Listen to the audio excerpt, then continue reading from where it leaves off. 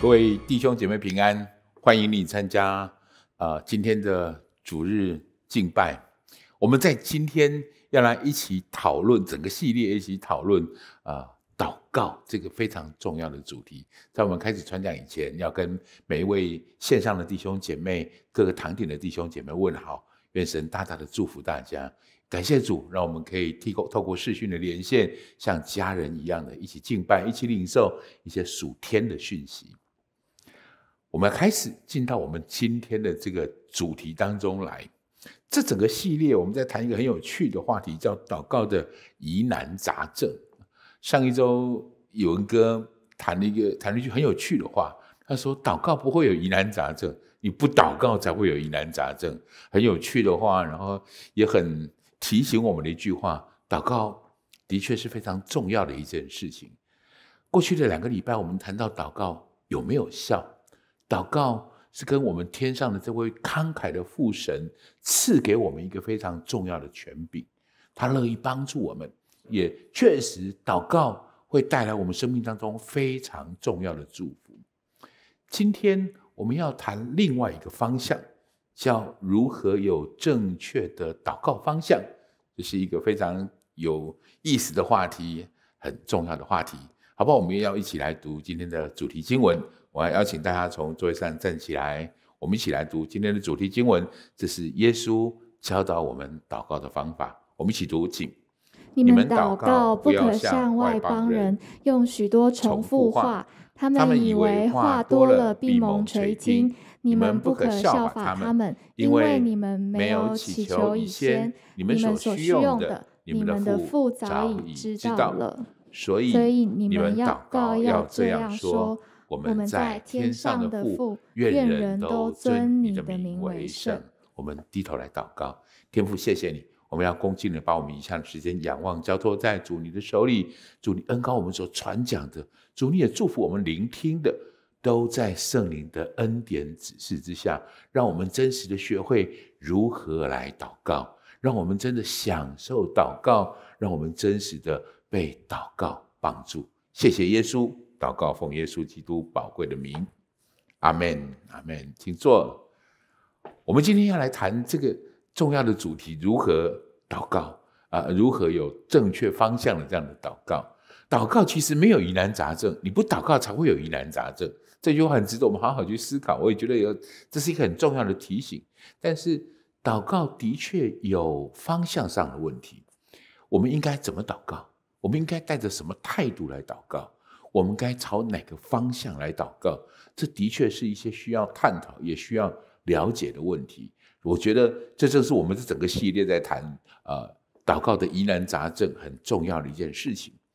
事实上，我们每一个人其实都会祷告。让我先提出一个假设性的问题，关于祷告这件事。如果你即将跟一个十分重要的人士对谈，而且你是有求于他的，你会不会事先预备一下，先大概了解他的个性，打听一下他的嗜好，还有他有兴趣的话题，会不会呢？如果这是一个大客户。或是这是一个你非常尊敬的人，而且你有求于他，你会不会先了解一下这个人，想一想，我待会要跟他说话的时候，我应该用什么态度来跟他说话，用什么方法来跟他说话，用什么话题来跟他对答？这是一个很值得我们想一想的问题。如果这位你要对他的对象是神呢，你应该怎么跟他说话呢？很有意思的事情，我应该说，我很小就会祷告。我我后来才信耶稣，但是我从小其实各路神明我都会祷告，我会把我想要的来告诉他。我祷告的内容是什么？我很乐意跟你分享。我以前祷告的内容大概无外就是这些：风调雨顺啊，国泰民安啊，财源广进啊，然后逢凶化吉啊，五谷丰收啊，六畜兴旺啊，七贤指孝，万事如意。我大概祷告的是这一些，这些是我不管对哪一个神明，我的祷告是一样的。我的方法也是一样的，这是我从小到大的习惯。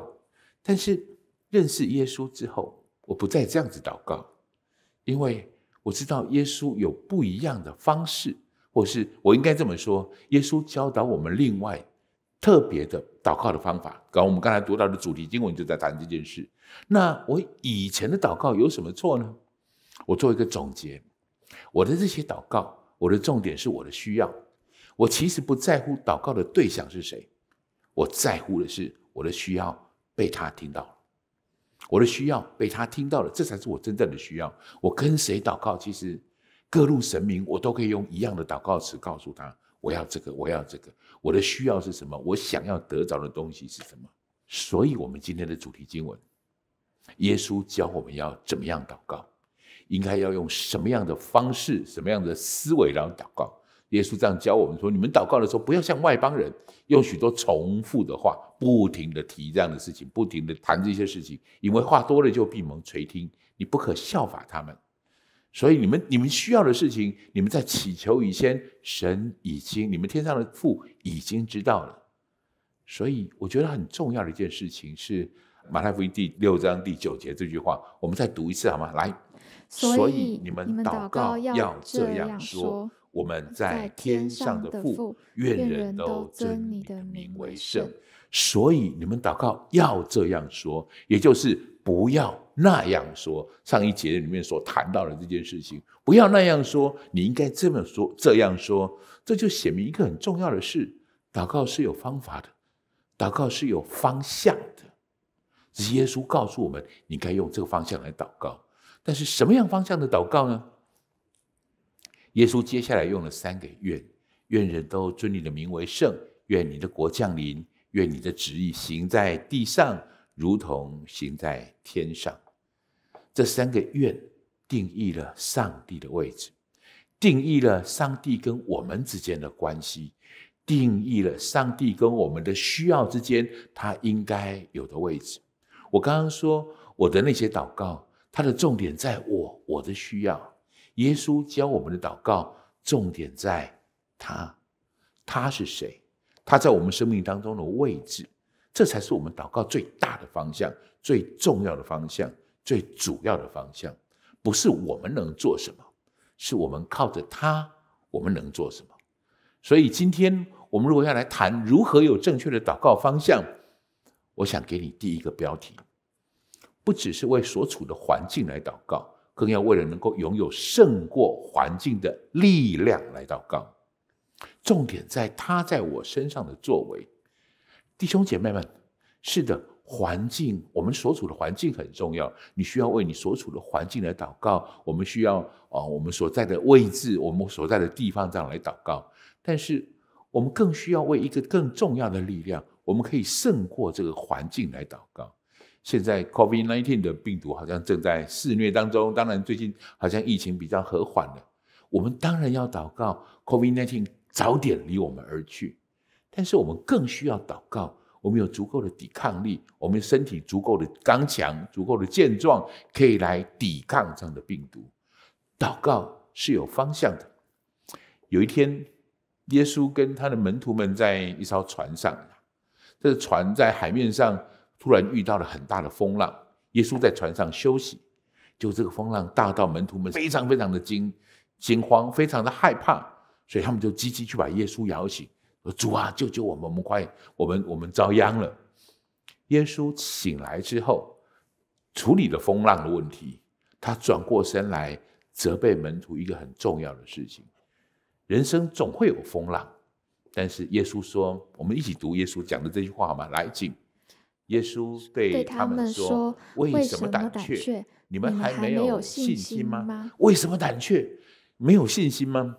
我们总会有风浪，没有风浪当然很重要，但是拥有经历风浪的信心更重要，不是吗？耶稣要鼓励他的门徒，要引导他的门门徒，这个对的祈求的方式，或是真正改变自己生命的方法，不是不要有风浪。”而是拥有抵抗风浪的信心，弟兄姐妹们，也许你正在一个不容易的环境当中，当然你要对那个不容易的环境来祷告。更重要的是，求神帮助你有足够的力量，有足够的信心去越过这样的环境。你要祷告，应该往这个方向清楚的来谈到。刚才我们说到耶稣的门徒来找耶稣，这事实上就是一个祷告的预表。他们在风浪当中来到耶稣的面前，在风浪很大的时候，非常担心、害怕的时候，来到主的面前，呼求他：“主啊，救我们！我们快死了。”这是一个祷告的态度。我再说一次，这是一个祷告的态度。祷告一定要拥有一个对的态度。我们也许在不同的环境当中，也许在不同的处境里面，不要让你的处境影响你祷告的态度。不要让处境影响你祷告的态度。耶稣针对这件事，事实上他举了一个很特别的例子，记录在路加福音的第十八章当中。这是一个耶稣举的例子，哈，我们一起来读一下，来，请。耶稣向那些仗着自己是异人、藐视别人的，设一个比喻，说：有两个人上殿里去祷告，一个是法利赛人，一个是税吏。法利赛人站着，自言自语的祷告说：神啊，我感谢你。我不像别人勒索、不义、奸淫，也不像这个税吏。我一个礼拜进食两次，凡我所得的都捐上十分之一。那税吏远远的站着，连举目望天也不敢，只捶着胸说：“神啊，开恩，可怜我这个罪人。”这是一个耶稣举的例子，很值得我们好好想一想。耶稣在谈的是祷告，当他的主题是谈自以为义的人，他用祷告，而且是在店里的祷告。这两个人，一个是法利赛人，一个是税吏。相对而言，在当时的社会地位，这是一个非常大的差别。特别在圣殿里面，在圣殿里面，法利赛人他们是呃读圣经的，他们是解释圣经的，他们是我是老师，是教师，能够教导人的，是在圣殿当中他的地位很高的，而且他也遵行所有宗教上的每一个仪式，所以他一直觉得自己够好了。所以你看看他的祷告，神啊，我感谢你，我不像别人，他列出那些别人所犯的罪，我没有犯那些罪，这是法利赛人。但是反观过来看看这位税吏，当然税吏在当时社会的程度，他们他们基本上是罗马人的手下，与这个犹太人为敌的这样的一个状况，所以他来到圣殿里，他想起自己的作为，当然已经很不好意思。所以圣经里面用耶稣用这个话来来举例，他说连举目望天也不敢，也就是他连在这里抬起头来的的那个能力都不敢。可是我想特别提醒你，这个连望天也不敢的，举目望天也不敢的人，他来到圣殿里，而且在祷告，这是最宝贵的一件事，这是最宝贵的一件事。他这样祷告，神啊，可怜我，开恩，可怜我这个罪人。耶稣在这个故事当中做了一个结局，他谈到这两个祷告真实的价值是什么？我们来读一下《路加福音》的十八章第十四节：“我告诉你们，这人回家去，比那人倒算为义了，因为凡自高的必降为卑，自卑的必升为高。”这是神很特别的法则。透过这个故事，透过前面当耶稣在船上的故事，或者透过现在我们所谈到耶稣的这个比喻，我想做一个这样的结论，我想对大家做一个这样的提醒。也许你的环境是糟糕的，也许你事业有特别的状况，也许你曾经做错哪些事，做坏了哪件事情，而且心里面有很大的亏欠，或是你搞砸了哪件事情，让你现在的环境变得非常的不容易。你甚至就像这个经文当中说的，连举目望天也不敢，那些罪疚、那些不容易的感觉，好像在你心里。我想鼓励这样的弟兄姐妹，我想鼓励这样的来宾朋友，神看重所有谦卑懊悔的心，在神凡事都能来祷告吧。神看重这样的人来祷告，看重这样的人来到他的面前祷告，说：“主啊，请你帮助我。”主啊，请你赦免我，释放我这个罪人。神特别看重这样子的祷告。我另外也要提醒，也许你是成功的，你是凡事顺利的，也许你也照着圣经教导的，有敬虔，有爱主，有奉献，有捐款。让我提醒你，在这个时候，你在神面前谦卑的祷告，就是对的这种祷告态度。会更显得尊贵，因为你已经如此的高了，而且你还自诩卑微，这样的高会更高，更有价值。因为圣经里面告诉我们这个话，耶稣教导的事情，因为凡至高的必降为卑，至卑的必升为高。我们用对的态度来到神的面前祷告。除此之外，我想这么说：相对于你经历什么，其实神更在乎你成为什么。弟兄姐妹们，这是我今天最想说的话。你晓得，祷告这件事最重要的事情是，你知道你是被神疼爱的，你知道你是被爱的，你知道你在神面前是非常有价值的。其实，相对于你的经历，神更在乎你变成什么样子了。所以他用祷告来帮助你，他给你祷告的权柄。当让你在祷告当中可以成为一个对的人，对的方式。所以不要祷告没有风浪的环境，你要祷告的是拥有经历风浪的属灵肌肉，你要拥有经历风浪的信心，这才是我们的祷告。神渴望、乐意用这样子的祷告来帮助我们成为一个他要我们成为的人。换句话说，是那个以他的形象、以他的样式创造的人。所以我说，神更在乎你是不是成为一个得胜者，你是不是一个得胜者，弟兄姐妹们，不管我们在高处，或我们在人生的低谷，高山跟低谷都很容易让我们迷失，很容易让我们失去我们原本应该有的样子。成功跟失败，往往是把我们拉离开神很特别的原因。今天我特别要这样提醒你：，你经历什么，其实并不那么重要。神很在乎的一件事情是你成为什么，让你的祷告专注在这件事情上，让你的祷告成就神这个很美好的心意。不在乎，不不取得我要，我都要得到什么样的呃环境上，我要得到什么样的祝福？不只为我的环境祷告，要为我拥有能够胜过环境的能力来祷告。这才是我觉得在祷告当中，我们一个非常重要的方向。其实，圣经当中的保罗就是一个非常典型的例子。保罗这样说，我们一起读好吗？来，我知道怎样处卑贱，也知道怎样处丰富，或饱足，或饥饿，或有余，或缺乏，随事随在，我都得了秘诀。我靠着那加给我力量的，凡事都能做。也许卑贱，也许丰富，这些我都可以在自己的环境当中游刃有余。我都知道怎么样做，我都知道可以呃随是随在，我都得了秘诀。不管成功，不管失败，不管高山，不管低谷，靠着那家给我力量的，我凡事都能。什么环境我都能够处之泰然。第二个，我要给大家的标题是：不只为自己需要的祷告，更为自己能成为祝福祷告；不只为自己需要的事情祷告，更要能为自己成为祝福这件事。我们需要为这样的事情来祷告。当然，我们的需要很重要。主导文里面也这样教我们：我们日用的饮食，今日赐给我们。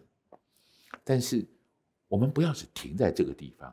耶稣说过：“施比受。”更为有福，也就是给比取更为有福。有一个更重要的福，是我们可以给予的祝福，也就是我们能够成为祝福这样子的福，是我们生命当中更重要、呃更大的一个祝福。所以你的祷告不要只停在我需要什么，我们的祷告需要拓展成我不止我。求主满足我的需要，也帮助我能够成为别人满足别人的需要。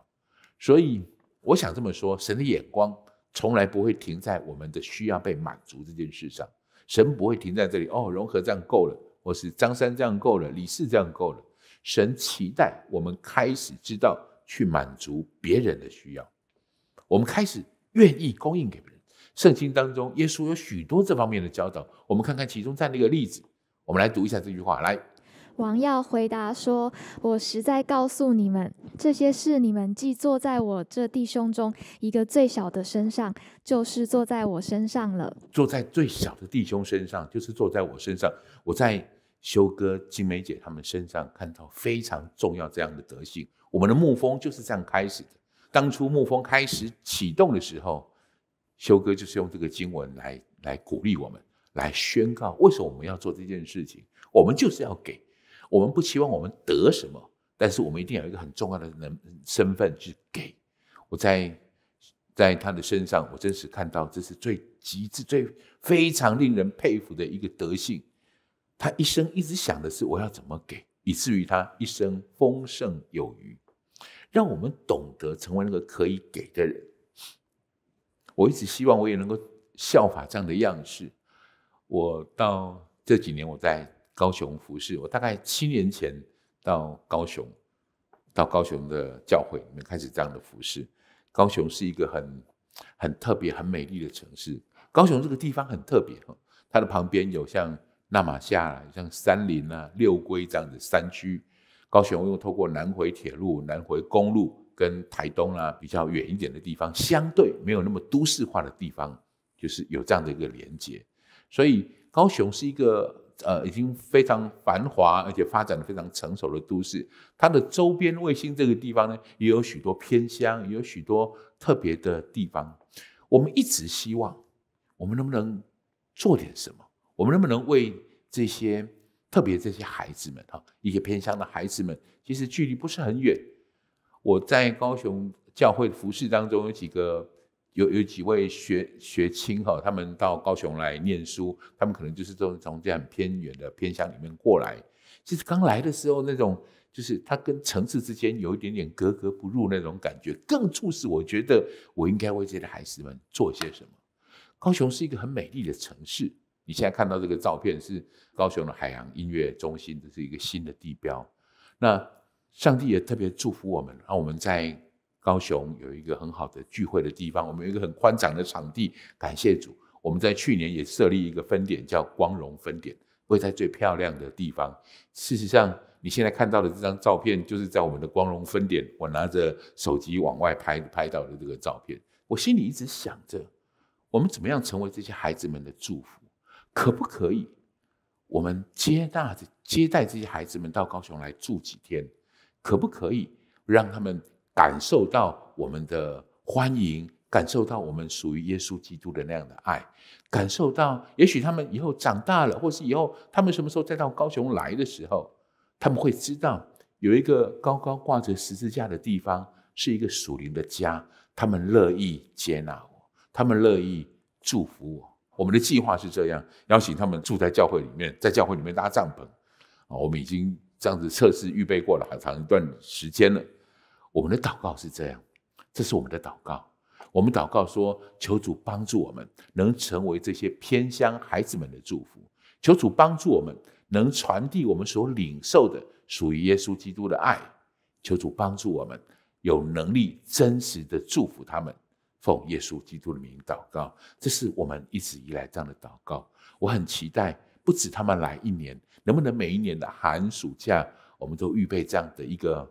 一个活动，一个这样的做法，让这些偏乡的孩子们，他们有机会可以到我们用营会的方式来举办哈，可以到高雄来，可以住在我们的教会，可以到我们的分店去看一看，可以带着他们在高雄有一个城市之旅这样的一个方式。最重要的事情是接纳他们，拥抱他们。我其实去过好几个偏，就是比较我们认为的偏乡这样的地方，他们的经济其实他们的经济能力都一切都很好。我觉得这些偏乡孩子们真正弱势的地方是在关系上，是在连结上，也许是在对城市的熟悉上。如果他以后要一需要到这个呃城市当中来求学的话，否则他们的环境更好，我更羡慕他们的环境。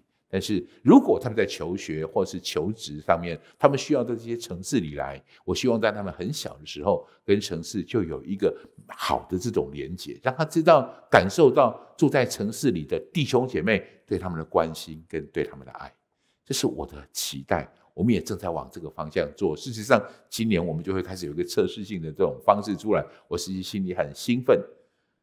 我要跟你，我要跟你做这样的见证。耶稣说。凡有给人的，就必有给你的。我们来读这个经文好了，好吗？来，路加福音里面的这句话来进。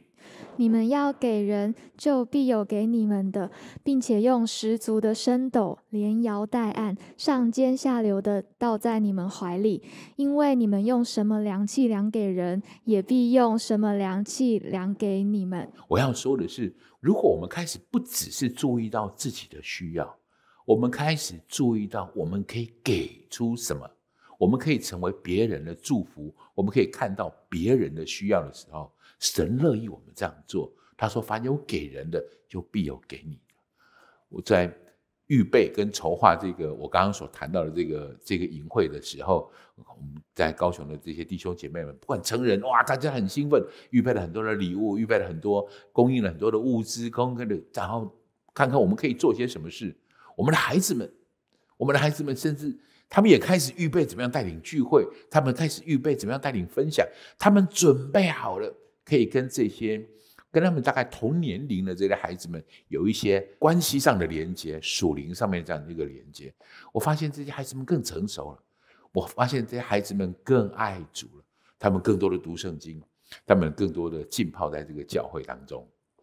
我其实觉得最感动、最重要的一件事情是，对这些孩子而言，教会不再只是爸爸妈妈的教会，教会也是他们的教会。他们实际参与在这些服饰当中，他们心里充满了那个耶稣所谈的这件事给的这样的祝福。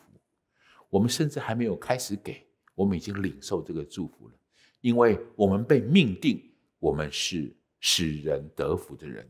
这是亚伯拉罕的祝福。圣经里面告诉我们，我们每个人都继承了这个亚伯拉罕的福。亚伯拉罕的福是什么福呢？我们来读一下这句话，《创世纪》的十二章第二节，我们一起读好吗？来，我必叫你们成为大国，我必赐福给你，叫你的名为大，你也要叫别人得福。弟兄姐妹们，你也要叫别人得福，请你安在你自己的胸口上，告诉自己这句话：我一定是别人的祝福，我一定会成为别人的祝福，让这样的福。能成为我们每一个人在祷告当中领受极大的祝福。最后，我要给你这个标题：不只要为知道神的心意而祷告，更为神能掌权祷告。我特别指的是，更能为神能掌权在我的心思意念、我的行为里来祷告。我们在祷告的时候，当然我们很希望，我们一直期待上帝给我们他的话语。让我们显明他的心意在我们的生命当中，这是非常重要的。我们需要神的引导，他的话语就像脚前的灯，路上的光，引导我们一步一步往前行。我们需要知道神的心意，但是很多时候，我们其实知道神的心意，我们需要的是执行神的心意的能力。我们需要的是能够照着神的心意，照着神的话语。掌管我们的，就是我们的心思意念，甚至我们所行出的行为，跟神的话语能够真实的相符。我把这样的话解释成：神掌权在我的心思意念，在我的行为当中。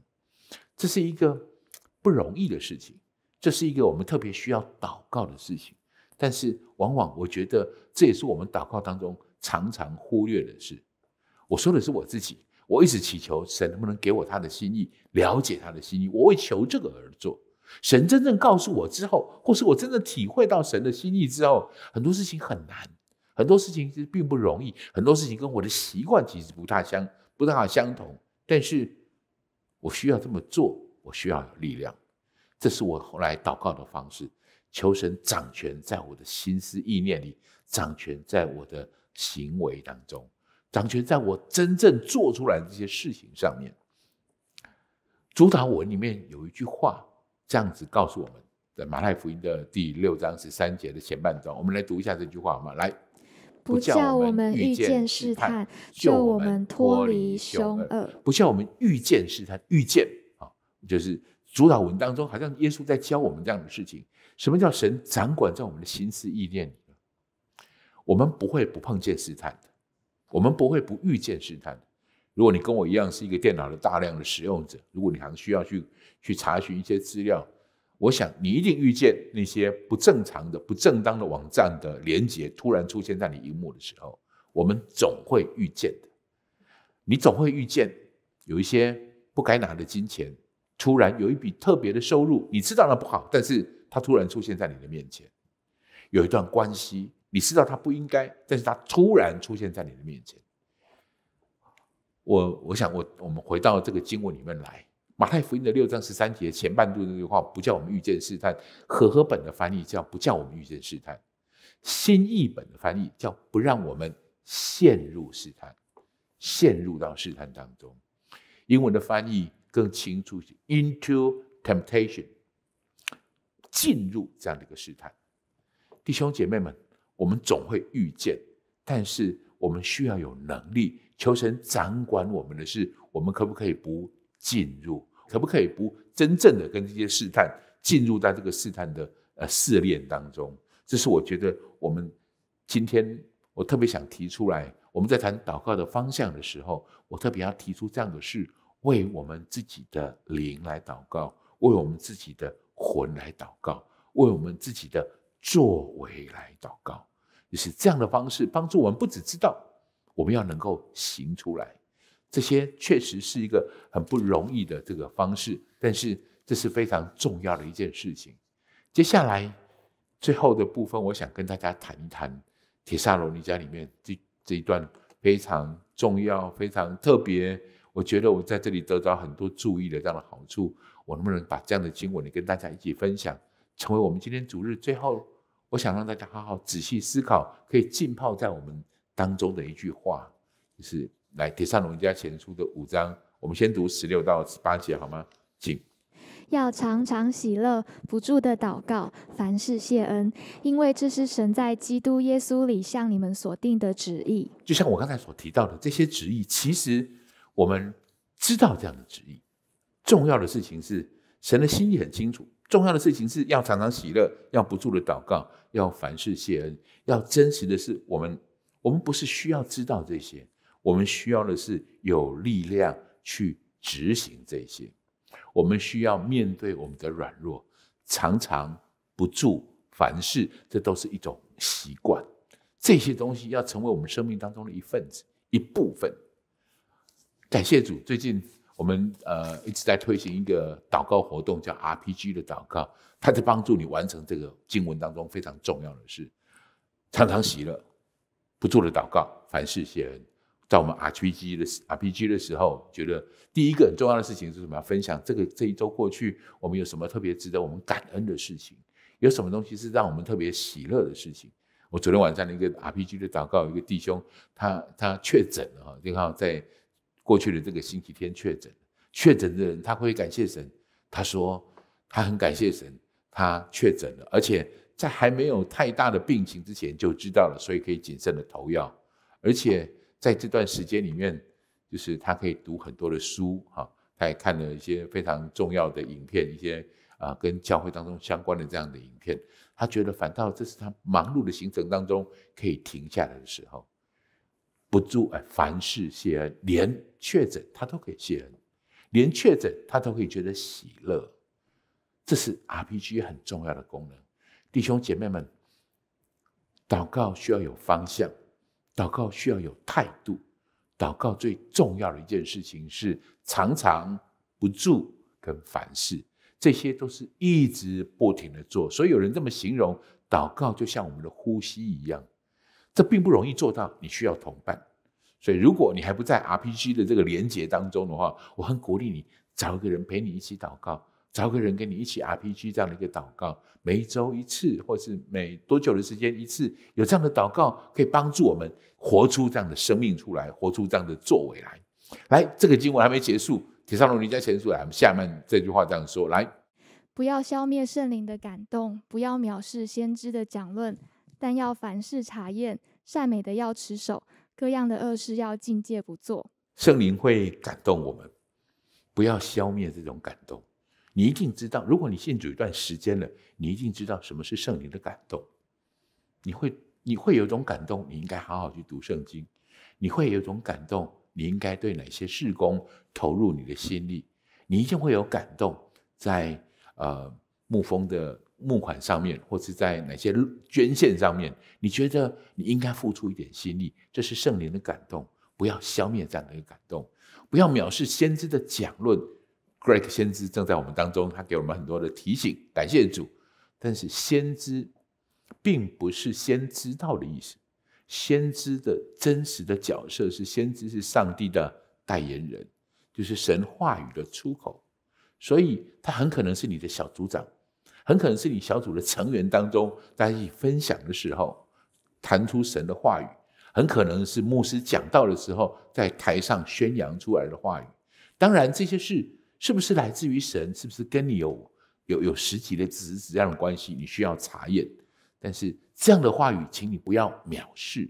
你要知道，神刻意，神也特别真实的在对我们的生命当中说许多的话。好，我们继续往下面读这个这句话嘛。来，请愿赐平安的神亲自使你们全然成圣，又愿你们的灵与魂与身子得蒙保守，在我们主耶稣基督降临的时候，完全无可指摘。这个经文是今天最重要的一个经文。事实上，你记不记得我前面跟各位谈过的这样的事？如果你要跟一个很有名望的人，一个很重要的成功人士对谈，而且你是有求于他的，你要不要先有点预备？你会不会大致了解他的个性？你会不会大致打听一下他的喜好？还有他有兴趣的话题？我用这句话开场，我特别提了，如果是神呢？这个经文在解释这件事情，这个经文在告诉我们，这位我们刚才所谈到的重要人士，我们祷告的对象。他真正关心的是什么？是你，是我，是我们每一个很重要的个体，因为他希望，他真正在乎的事情是我们成圣，我们的灵与魂与身子可以得着保守。弟兄姐妹们，正如我前面说的，神真正在乎的是你。相对于我们的经历，相对我们遭遇过什么？神更在乎的是我们经过了这些经历，我们成为一个什么样子的人。神在乎的是这件事情，所以让我们在这个事情上得着一个啊，今天我们所谈到的祷告的方向，我们就晓得祷告的方向重点在他，他关心的是我这个人，我成为什么样的样式了。所以这个经文里面后面说，保守我们在主耶稣基督降临的时候。完全无可指摘。我们要成为一个真实完全的人，弟兄姐妹们，你会是这样的人。我期待我会是这样的人。我要用保罗祝福铁萨罗尼迦教会的话来祝福我们今天每一位弟兄姐妹们。我们一起读这个经文，领受这个经文，存放这个经文，让这个经文成为我们祷告非常重要的依据。我们一起读，来。那招你们的本是信实的，他必成就这事。那招你们的本是信实的，他必成就这事。我们一起来祷告，天父，谢谢你让我们在这里有这样的领受，一起这样的聚集。主啊，我们天上的父啊，祝福我们在场的每一个人，祝福在每一个堂点当中聆听这个讯息的弟兄姐妹、来宾朋友，也祝福所有线上收听的人们。主，我们可以拥有合你心意的祷告，帮助我们每一个人都可以拥有经历风浪的属灵肌肉，帮助我们有你的样式，可以成为别人的祝福。主啊，帮助我们寻得你的心意，而且可以真正的执行你的旨意。愿你的作为在我们的生命中真实的被看见。愿你的荣耀在你的教会里真正的被显明。谢谢主，奉耶稣基督的名，阿门。就我们仍然浸泡在我们的祷告当中。我觉得在今天的呃今天的讯息当中，我在为这个为这个讯息祷告的时候，我觉得神特别提醒我，特别提醒我这句话是我一直重复的话。相对于你经历什么，神更在乎你成为什么。我觉得好像有些弟兄姐妹，我特别需要把这样的话在你的面前说出来。你对神的祷告正在帮助你成为神眼中期待的样子。你对神的祷告正在帮助你成为神眼中期待的样子。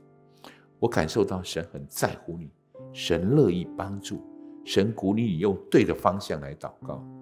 所以求神帮助你拥有足够的信心，拥有足够的属灵力量。成为那个真正的得胜者。另外，我也有些话要对我们当中，呃，许多刚来到教会，也许你还正在摸索耶稣到底是谁，基督教到底是什么的这件事。今天我很高兴，我很为你高兴，是你听到这个很重要的讯息。我们在谈祷告，祷告的重点是在教会里面的祷告，重点是我们祷告的对象，以他为主，然后我们看见他在我们生命当中应该有的位置。我要求我的上帝可以成为你的上帝，我要求我的神也可以成为你的神。如果你愿意，请你跟我一起。这样来祷告，一句一句这样来祷告。亲爱的主耶稣，亲爱的主耶稣，谢谢你让我认识你，谢谢你让我认识你。现在我要打开我的心，现在我要打开我的心，邀请你到我的生命中来，邀请你到我的生命中来，成为我的救主，成为我的救主，成为我的主宰，成为我的主宰。请你赦免我的过犯，请你赦免我的过犯，原谅我的罪，原谅我的罪，带领我前方的道路。带领我前方的道路，走在你恩典的旨意当中。走在恩典的旨意当中。这样祷告，这样祷告，奉耶稣基督宝贵的名，奉耶稣基督宝贵的名。阿门，阿门。我要恭喜你，如果你跟我做了这样的祷告的话，愿上帝的恩典大大的祝福在你的生命里，好不好？今天的结束，今天我们最后的祝福，我想我们一起做这件事情。我要邀请大家从座位上站起来，我们一起来读主导文。我们一起来读耶稣教我们的祷告，一起敬。我们在天上的父，愿人都尊你的名为圣。愿你的国降临。愿你的旨意行在地上，如同行在天上。我们日用的饮食，今日赐给我们，免我们的债，如同我们免了人的债，不叫我们遇见试探。救我们脱离凶恶，因为国度、权柄、荣耀，全是你的，直到永远。阿门。我们一起拍掌归荣耀给神，哈利路亚！感谢主。